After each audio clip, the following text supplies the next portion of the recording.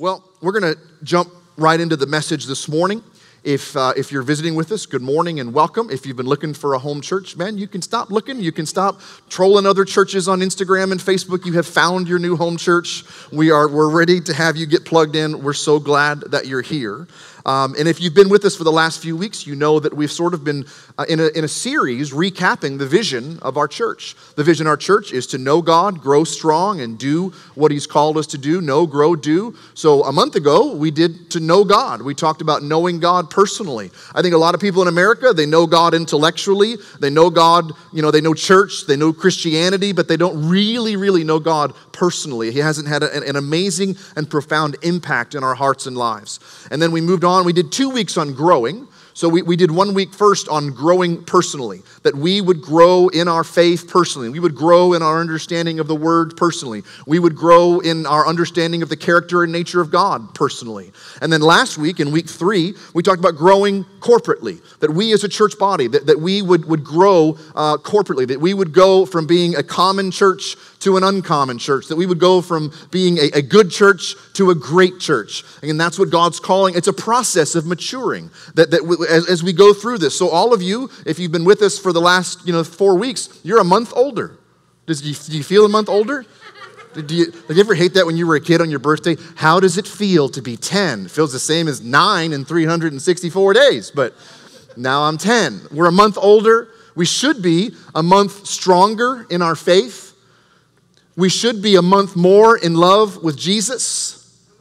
We should be deeper down the, into the deeper waters of God. We should love Jesus more today than we did a month ago. We, we should look like Jesus more today than we did a month ago. We've got so many new babies popping out left and right, mostly by pregnant women, but it's been it's like we're just babies everywhere. And thank God they're small. I think we can take them because if they all grew full size, man, they'd overcome. They're just everywhere. There's babies everywhere. But all you new mamas, especially you first time mamas, because you, you it, it, will slow down the picture taking. I, I, trust me, but it's a little out of control with your picture taking right now. So, um, it, in a one month, imagine how much your little one has changed. They couldn't roll over, now they can roll over. They didn't have teeth, now they have a little bump that you keep rubbing on the bottom. Leave it alone. They're drooling, but it'll come in its time. Maybe then now they can stand up and pull themselves up. Maybe they can do something they couldn't do before because they're growing, they're getting older. It's so neat to see they're maturing. But isn't a baby the most selfish thing in the whole wide world? Babies are so selfish. They don't contribute, they don't work, they don't do nothing. They just sleep and eat and poop and want you to change them and feed them and care for them. They don't pay taxes. They just, they just selfish, selfish little babies. But as they grow, you know, as your children become older, they're in elementary school, they're in middle school. You, you teach them a chore. You know, my chore when I was a kid was taking out the trash and uh, mowing the yard. Those were my big chores. Um, and, you know, depending on where you live, there's different chores, you know, whether it's doing dishes or helping out with the laundry or doing the vacuuming. We have chores as we get older. And then, believe it or not, we grow up and we're adults and we get married and we make our own babies. And then it's like our whole life is to care for this other life. It's hashtag adulting. It's like we, we, our whole job is now, it's like, I have to do grown up stuff. I have to adult stuff. I have to go to work or I have to go to school every day or I have to pay taxes. It's, it's adulting. So let me ask you spiritually make a mental list. How are you doing in your spiritual maturing process? How are you doing in your spiritual adulting with the grown up Christian things? What are you doing for the Lord? We talked about knowing, we talked about growing. Today, let's talk about what are we doing for the Lord? It's kind of like adulting. You remember the first time like you made your bed as an adult because you felt like it was a grown-up thing to do and you were walking out of your room and you looked over your shoulder and you're like, I made my bed this morning. now, in the old days, we used to just make our bed. Now I know that you have to do a selfie Instagram over your shoulder. I made my bed, hashtag adulting, right? I get it. Or you didn't just put the dishes in the sink, you washed them. I got you. You ready? You take something out of the dresser drawer and then you close the dresser drawer. Okay, I got okay, now I'm now I'm talking your language. That's adulting. Closing your dresser drawers is adulting. Did you read your Bible this week? Did you spend time in prayer this week? Did you come to Tuesday night prayer? Did you tithe that first 10% of your income? Did you serve in the church on a dream team? Did you do these things because they're the grown up things that we do? Because if you look at the whole population of our church, it's actually a smaller fraction of people that are doing the adulting stuff in the church. And it, you might think that that's just for certain people. To do what God's called us to do is for everybody. There's no special like gifting or calling. We all are called to serve God. We're all gifted to serve God. Our job on earth is to move the gospel forward, to move the kingdom of God forward. What did you do this week to help spread the gospel? You might go, hold on, hold on. I don't have a spiritual gift. I don't play an instrument. I don't sing. I don't do tech stuff. I don't take care of babies. I don't help in the parking lot. I don't have the spiritual gift of doing this. Because that's a that's a really, especially with all the construction, like you need to have a really like a master's degree in loving people enough to stand there and smile. I don't have that gift. Yes, you do. 1 Corinthians chapter 12 and verse 4 says there's many different kinds of spiritual gifts, but it's the same spirit that's the source of them all. There are different kinds of service, but we're all serving the same Lord. God works in different ways, but it's the same God who works in all of us. Verse 7 A spiritual gift has been given to each of us so we can help each other. So, unless the Bible's a liar, if you're a Christian, you have spiritual gifts. God has given you, through His Holy Spirit, gifts to help the body. You have spiritual gifts. Now, why did He give you these spiritual gifts? So that you can go to heaven? No, that's a done deal. That issue was dealt with 2,000 years ago. You having spiritual gifts is not for you to go to heaven. It's not so that you can defeat the devil. He's already been defeated. You have a spiritual gift so you can serve God and demonstrate the love of God to help others to grow. You have gifts. So you're like, oh, I have spiritual gifts now. I didn't know that. Thank you for that Bible verse that says, I'm so gifted spiritually.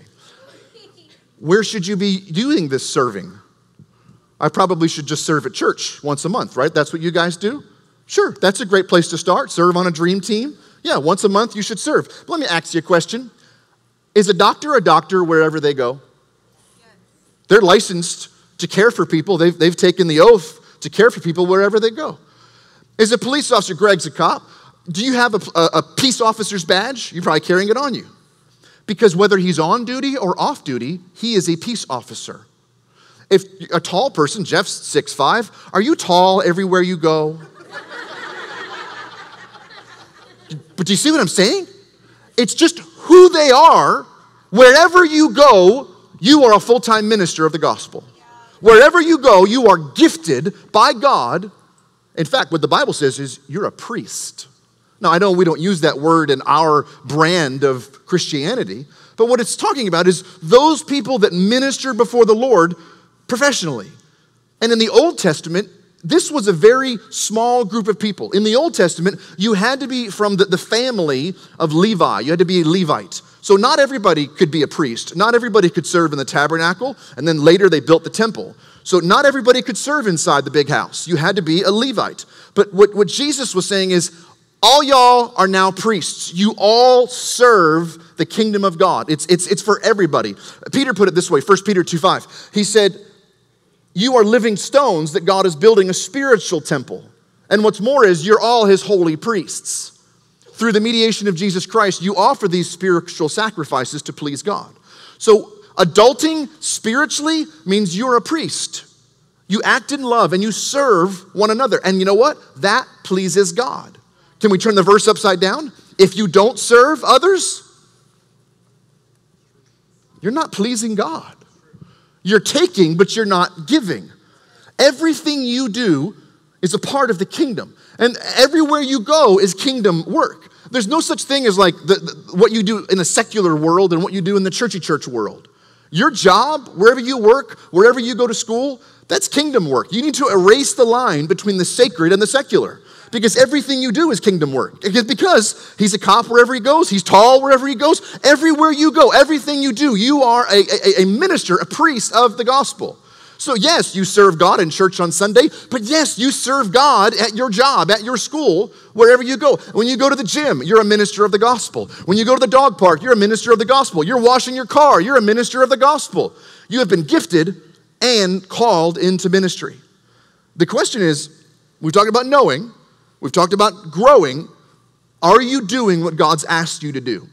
Or are you just sitting on your own blessed assurance and hoping somebody else parks the cars in the trafficy day? Somebody else takes care of the babies. Somebody else does the music. Somebody else does the ushering. Are you only going to take? And we've talked about knowing and we've talked about growing. The same thing happened to the people of Israel. They're in the desert.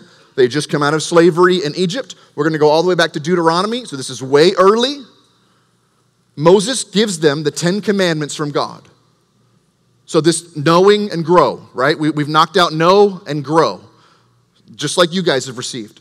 But then listen to the very listen to the third step that Moses gives the people of Israel. Deuteronomy 5:32. Be careful to do what the Lord your God has commanded you to do.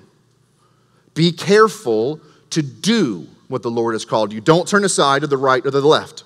Walk in obedience to all that the Lord your God has commanded you, so that you may live and prosper and belong and prolong your days in the land that you will possess. Did you see it? Just like Star Trek, you will live long and prosper by doing what God's called you to do. Just hold my notes for a second as I go off the rails. Back in New Mexico, uh, Pastor Swan, Pastor David Swan, we worked for their church for many years. He is our pastor. He's the father that, that we look up to spiritually and in ministry. There was a guy in the church that um, got sick. I don't remember. Let's just assume it was some form of cancer because he was only in his 40s. And they had only given him a couple weeks to live, and they had started that hospice where they're winding things down. I think we've all been there with other loved ones and grandparents and things like that, and our parents.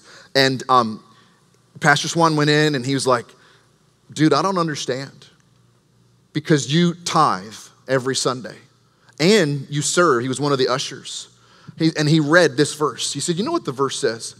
The, the Bible says that in, in the Ten Commandments, if you honor your parents and then skip down, you serve the Lord, you will live long in the land that the Lord your God has given you. Do you believe that? And the guy's like, I absolutely do. So they prayed together. That guy's still alive today, 20 years later. Because he felt as if his, he was being robbed of living long. And so he, what he did was every day he would speak that verse or those two verses. He said, Lord, I've honored my parents. I'm, I'm, a, I'm a, an adult, but I've always honored my parents, and I've always served in the house of the Lord. I've always served as an usher or a greeter or various things. So I'm holding you to your word that I will live long in the land. And that dude was healed and is still alive today. Let's move on. You ever notice I was watching Elias play uh, before service with Zach? Elias is three, and then we were kicking a little ball around and just being cute, just like little three year olds do, right? But I've noticed that little kids tend to act like their parents, little boys act like their dads, little girls act like their mamas. Children of God should sound, act, and look like their Father in heaven. You see what I'm saying? If we're God's kids, we should act like God wherever we go. There shouldn't be like a church version of you and then like a work version of you because you're a child of God wherever you go. You, you should act and look and reflect like God wherever you go. There shouldn't be like your friends, if you died in a car accident and I have to do your funeral, your friends shouldn't be like, wow, I had no idea he was a Christian. I had no idea he went to church. That's amazing. They should know that you're the Christian person at work. Like, you, you should almost be obnoxious about it. You know what I'm saying? I mean, not really, but it shouldn't be like some surprise. Well, if you'd have heard the way he was joking around, if you'd have heard his mouth, if you'd have heard, I had no idea. Everybody should have an idea because you should look like your Father in heaven. So let me ask you again Are you doing what God's called you to do? Are you a minister of the gospel wherever you go, whatever you do? Are you doing what He's called you to do? Are you, remember, have you been in church to know God and to grow strong? Are, are you in a new life group? Are you building community? Now, we have been on a summer break, but this week starts New Life groups. So we're going to do 13 weeks of groups, small groups during the week for the next 13 weeks. It's an opportunity for you to get plugged in and build some relationship and community. Are you doing the grown up, adulting things that God's called you to do? Are you serving on a dream team? It, it, it honest to God, I'm, I'm kidding. it doesn't take much to stand in the parking lot and smile at people and point them. It, anybody, this is a spiritual gift that you probably have. I, I, get that you might not be able to play an instrument the way these guys do, which is amazing, but anybody can be an usher and, and take a flashlight and smile and just. You have that spiritual gift. Are you trusting God with your money? Are you tithing? That's an adulting spiritual thing to do. Are you reading your Bible because you want to, not because you feel like you have to? Are you growing in your understanding? Are you praying every day? Are you attending Tuesday night prayer? We have been doing some work on Tuesday nights. It's been really, really powerful the last few weeks. I'm proud of our people that come out on Tuesday nights. It's one hour. You're like, oh, well, I work. Dude, what do you think I do all day on a Tuesday? I, and I don't usually go home. I just stay here at the office and we'll come straight here, hungry, tired, putting up with our church staff all, you know what I'm saying? I roll in here the same way you do. But that's an hour worth investing in our church, in our city. Because you are the light of the wherever you go, you bring light. So you walk into a dark room, the first thing you do is flip on the light. Spiritually, you walk into a dark place, you are the light. You represent the light of the world wherever you go. There was an, old guy this week um, at a grocery store, and um, he was he didn't have enough money to pay for his groceries. He wasn't buying like filet mignon and like a case of beer. It was like tuna fish and a loaf of bread and some rice and some, some oil or something, and it was like thirty dollars and he was trying to get his card to work and it wasn't working. And then he did that thing where he's like, oh. And I was able to walk up and uh, I didn't have my personal card because I wanted Brad and Josie to get the blessing, but it didn't. I, I, guess my daughter had my card. The only card I had on me was the church card. So we all got to bless this old guy because I just walked up. I said, Hey, baby, don't worry about it. God bless you. New Life Family Church loves you. And he was like, Thank you so much. That's what light does, is they love on people wherever they go. Do you prophesy to people? Do you use, we talked about having, you have the gifts of the Spirit in your life. Do you prophesy over people? Do you encourage people? Do you pray for people? If somebody's sick, do you offer to pray for them? If somebody gets sick, are you the person in, in, the, in the office that they go to? Are you doing what God's called you to do? And some of these truths are for all of us. We all need to go to church. We all need to read our Bibles, right? But some of them are very specific for you. You have been saved because how much He loves you now it's time we share that because saved people serve people. Saved people serve people. Galatians 5. You have been called to live in freedom, New Life Family Church, but don't use this freedom to satisfy your own sinful nature.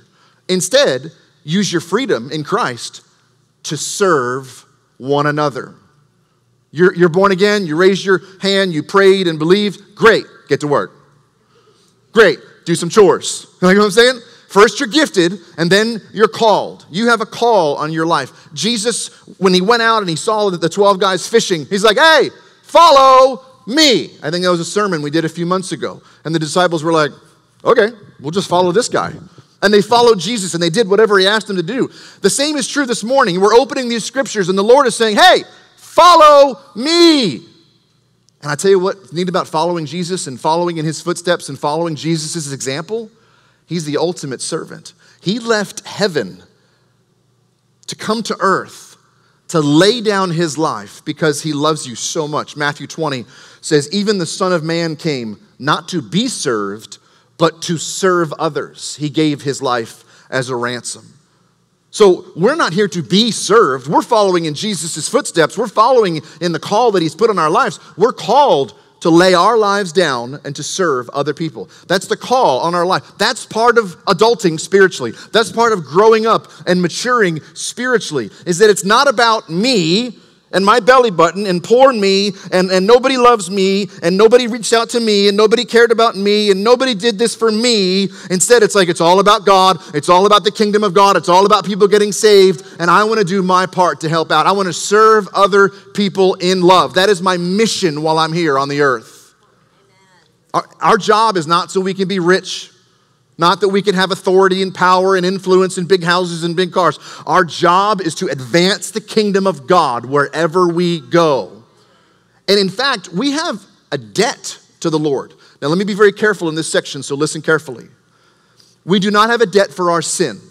Our, the, the debt for our sin has been paid. You can do nothing to make Jesus forgive any more of your sin. It has already been paid.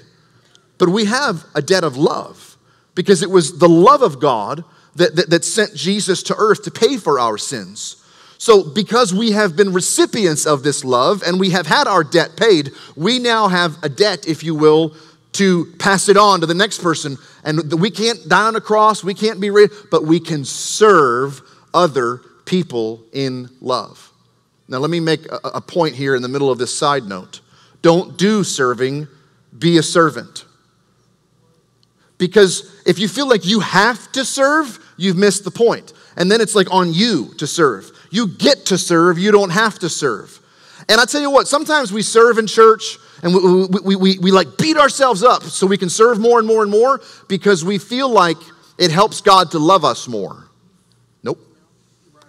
God loves you so much, He couldn't possibly love you any more than He does right now. You serve, you don't serve.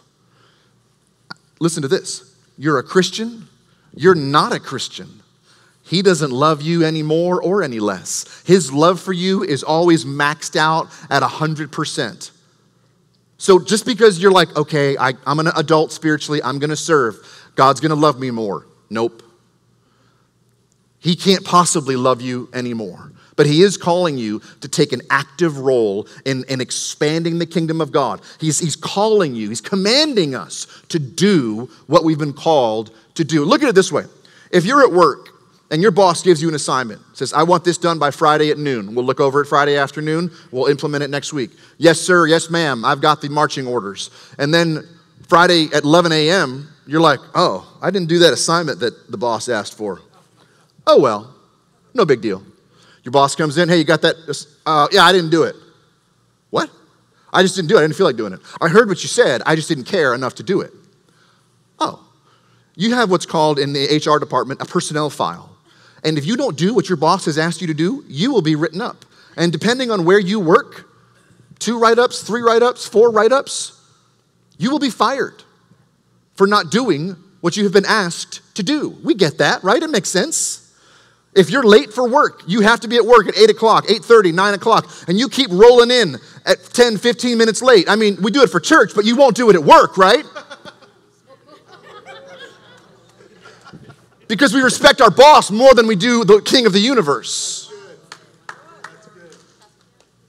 A guy on my staff thought that was pretty good.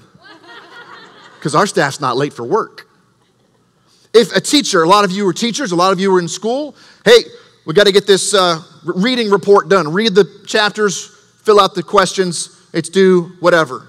You don't, you, you, if you're a kid like me, you just blow it off. I'm not doing the assignment.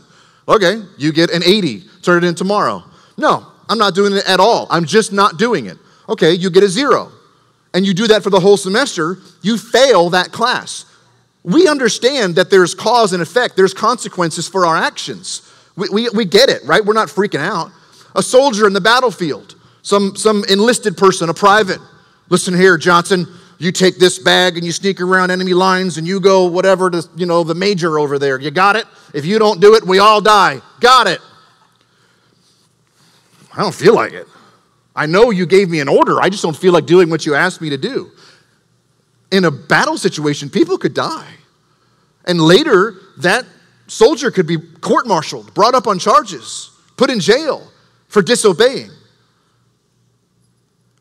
How come we don't think it matters to the Lord if we disobey his orders in the army of God? I'm just asking. The Lord has called us. He, He's called us to do. He's called us to adult spiritually. He's called us to serve. And we're like, I don't care. I don't feel like it. And we expect there not to be any consequences. Imagine, if you will, the Great Commission. We talked about it last week, Matthew 28 19. Go into all the world and preach the good news. And you're like, I don't care. It wasn't a suggestion. He wasn't asking for your input. It's our marching orders from our commanding officer. You're like, hey, hey, hey, hey, hey, we like 2019 church. Don't talk to us that way. We can do whatever we want. That's the common church. This is an uncommon church. You want to hear how savage Jesus was? Check this out. Jesus, savage. Luke 6 46. Why do you keep calling me Lord, but you don't do what I say? No, no, no, put that back. That's the Bible. Who talks like that? Jesus is like, Why do you call me Lord, but you don't do what I say? Shots fired at immature Christians that won't serve. What's that happen in the rest of your life? I'll tell you what it's like. If somebody, Jesus is saying, if you listen to my teaching and then you follow it, you do what I've called you to do, it's like building your house on a solid rock. You've dug down deep, you've built a strong foundation, the flood waters come, storms beat the house, but it stands firm because it was well built, because you heard the gospel message and you did what God asked you to do. But, verse 49, anybody who hears the word and doesn't obey is like a person who builds a house with no foundation. When the floodwaters sweep down against the house, it will collapse in a heap of ruins. Here's what Jesus is saying I'm glad you're here. I'm glad you've called on the name of the Lord, but it's time to adult and do what He's called you to do. Ask yourself in my house of faith, in my life of faith, in my marriage, in my children, at my work, is it built on the rock or on the sand? Because the sandy foundations are those people that don't serve that heard the word but didn't do what God's called them to do. And I'm telling you, as a pastor, I see this all the time. People think they're on the rock. They've called on the name of the Lord, but they're not coming to church regularly. They're not coming to church on time. They're not involved in attending a, a, new life group for 13 weeks. They're not serving on a dream team. They don't tithe. They don't pray. They, they're just doing it. They're doing churchianity, not Christianity and then something happens in their life a storm, a sickness, they get a pink slip, they get laid off, there's trouble in the marriage, one of there's an accident, something happens, and their whole faith, their whole storm is washed away. And they're like, Man, I don't know what happened, preacher. I'm like, I do. I know exactly what happened. You thought you knew better. You thought you were smarter than Jesus. Let me read it again, Luke 6:46. Why do you keep calling me Lord, but you don't do what I say? Some of you are like, oh, fine. I'll be a parking person. Nope. We don't, you don't get to serve with that attitude. Because I'm not asking you to do something boring. I'm not asking you to do something terrible. I'm asking you to do something amazingly fun. There is such joy in doing what you've been created to do. God gifted you, God called you, and when you finally start doing what God's called you to do, it's not begrudgingly, it's not awful, it's amazing. This worship team, they practice all during the week and they get here at like 7 o'clock in the morning. Nobody walks in here like, I hate this church and I hate this worship song. They come in here like, I can't believe we get to do this. I'm so excited.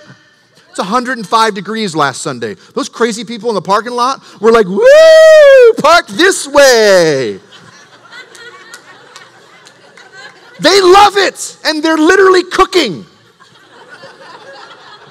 I was talking to Terry Bell. She heads up our little lifers. That's our three, four, and five year old class. I, I, was walking through uh, this morning and she goes, Pastor Brad, I'm so excited. I'm like, oh, oh my gosh, what's up? She's like, it's Sunday. We get to take care of the babies today.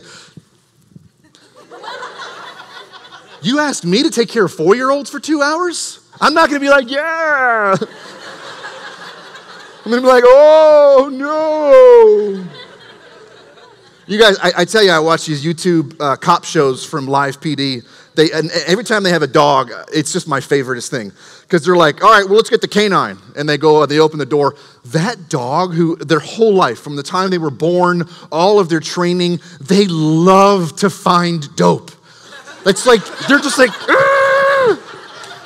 so they like jump out of the truck, and then like the cop's gonna hook them up, and they're like leaning in for the leash and they're like, okay, let's go. And he's running up, and then that's literally the command. The cop will go, okay, find dope. And they're like, yeah! And they circle around, and when they smell, when they get a whiff of something, and they sit down, they look at their guy like, I did it! I found dope! because they're doing what they were created for, and there's such joy in that. The miserable people are the ones that aren't serving. Oh, snap! Singers love to sing, dancers love to dance, painters love to paint, Christians love to serve. That would have been, now. you, no, you missed it. When we serve, It completes us. You know, the, the movie that we don't quote from the 90s because it's naughty, but she says, You complete me. Or he says, somebody says, You complete me. Serving completes. No, grow, do. Serving completes you. I'll tell you what else serving does it changes you. We've already talked about it. it takes you from a belly button Christian to a look at everybody I can serve Christian. And you shouldn't serve to be blessed, but serving does bless you. It blesses my socks off to get to serve. And serving makes a real difference. I tell you what, a church full of people that are serving could see thousands of people born again. All right, let me wrap this up. You've heard me say before that many hands make light work. But let me rephrase it. New life is not built on the gifts and talents of a few, but on the sacrifice of many. It's all of us working together. It's all of us serving together. And there's a reason why there's an urgency in this message, and I don't want you to be alarmed. But First Peter said the world is coming to an end very soon. Don't be alarmed, but the end of the world is coming. Oh my gosh, what should we do? Be earnest and disciplined in your prayers. What does that mean? Know, grow. Okay, now what though? The world's coming to an end. What do we do? We, verse 8, most important of all, continue to show deep love for each other because love covers a multitude of sins. Cheerfully share your home with those who need a meal or a place to stay because God has given each one of you Uh, a gift from his great variety of spiritual gifts. So, what do you do with all those gifts? Use them well to serve one another. What does that mean in modern day? Jesus is coming soon. Look busy. Get to work. Do what he's called you to do. Use the gifts that he's. Let me give you one more time. Luke 6 46. Why do you call me Lord, Lord, and not do what I asked you to do? If you are a part of New Life, but yet you have not taken the growth track, go ahead and put the growth track logo up back there, Josh. Next Sunday is the first Sunday in September and it is Growth Track 1. It's a one hour class after church. It is literally your first step to getting plugged into our church and serving in our church. Next Sunday after church, I expect to see you in the Growth Track. If you're not in a New Life group, back at the back in the table and on our website, this week is launching 13 weeks of life groups. You've got to get into a life group. You've got to be part of a life group. And I tell you what, we honestly we need more leaders in our life groups. So many of you have been called to lead but you're not leading, you're just a part. I'm glad you're a part, but you have been called to lead a life group. And let me literally explain to you this way I'm going to break it down and do some math because you know how good I am at the maths. 36 people have signed up for the marriage life group. That's bigger than our church used to be. 36 people is way too many for a group. So we really should split it not in two, but in three. And every life group has a leader and a co leader. So if we split that 36 people marriage group, we need two more leaders and two more co leaders and two more homes to host that. We need you. We need you. The Pareto principle is this old leadership principle, it's a ratio. That 20% of any people group put in the effort, the money, the time to push the other 80% forward. And I hate to admit that it's true. If you think about it this way, scale that down to a church of 100 to make the numbers super easy. If you want to have a church of 100, you've got to have 20 leaders bought into the vision of that church, serving in the different teams, helping to lead the worship and the ushers and the kids and the whatever else you need for a church of 100. I'll tell you, we're right about 400 right now. I'd like to hit 500 by the first of the year. And we've only, we counted up all of our leaders that lead life groups, that lead dream teams, the co leaders, all of our staff.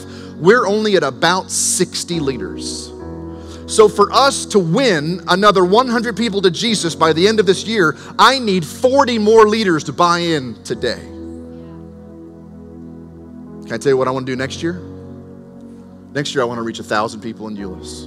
I want to see a thousand people born again. Okay? Yay! Praise Hallelujah!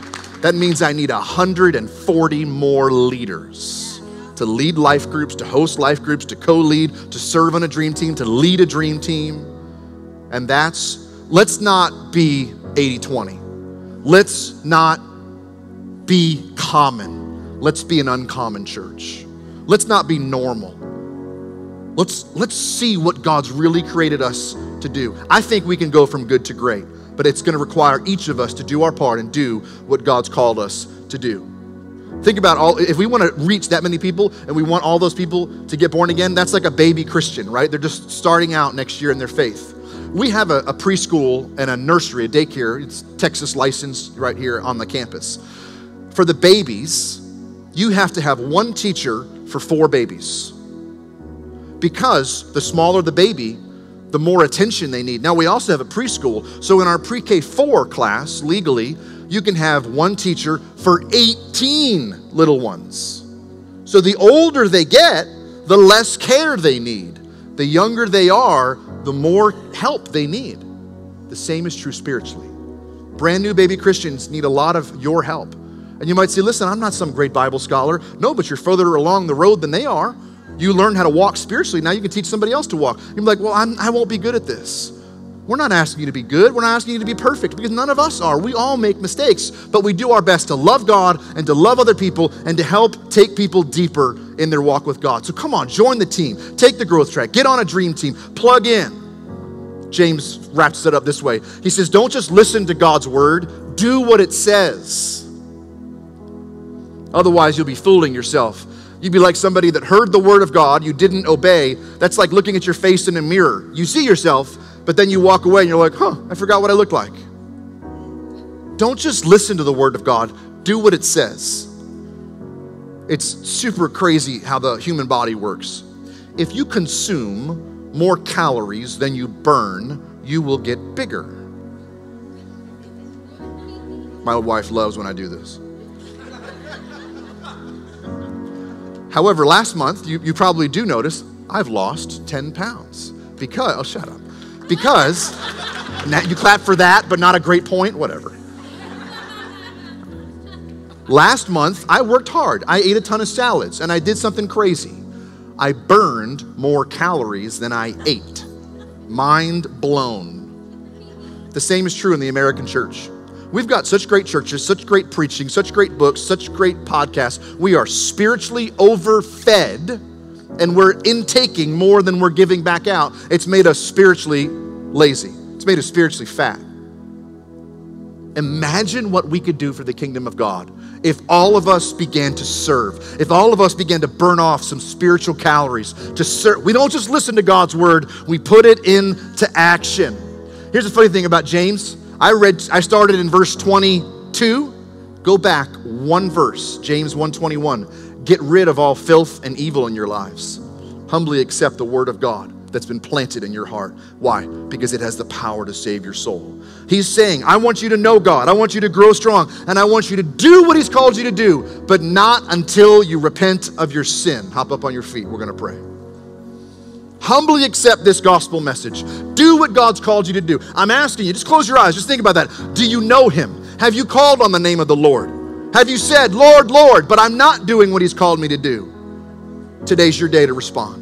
Today's your day to say, Lord, I'm sorry. Forgive me. Forgive me for my sin. Forgive me for allowing what James said is, is evil or filthy things in my life. I believe that you are the Son of God. I repent and I want to make you the Lord of my life. And I want to start serving. I want to start doing what you've called me to do. I believe that you've gifted me by your Holy Spirit.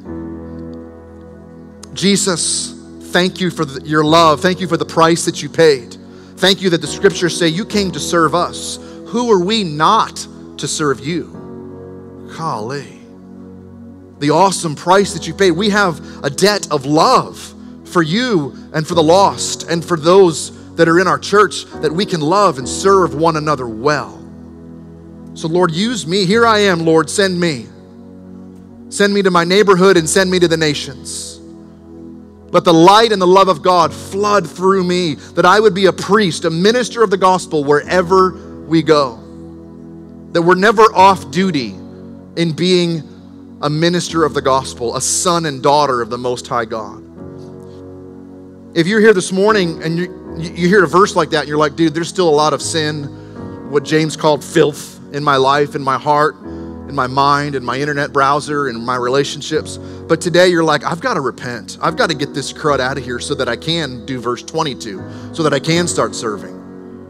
If you're here this morning and Jesus has not been the Lord of your life, or maybe it's been a minute, like you, you've, you've walked away from God and your heart has grown cold and you've allowed some filth, some sin into your life. Whether it's the first time or the first time in a long time, I'd like to pray for you. I'd, I'd like to see you repent of that sin and have Jesus wash it away so that you can start to really know and then grow and then do what God's called you to do because you have a call on your life. So if you're here this morning and it's going to be the first time or maybe the first time in a long time, I'd like to know who I'm praying for. We'll all pray together, but I'd like to know who I'm praying for. So raise your hand up real high and say, Preacher, pray for me. Today's my day. I've got to get right with God today. I see your hand in their back. Is there somebody else? I see your hand in the back. Is there somebody else? Come on, raise them up. Good. Man, I love when people give their heart to Jesus.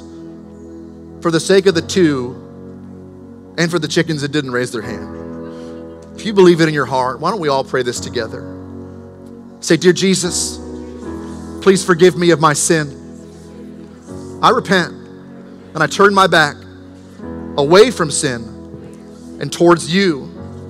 So be the king of my heart, the Lord of my life. Help me, Lord, to obey you, to do what you've called me to do to spread your love and the power of your kingdom wherever I go. I love you, Jesus.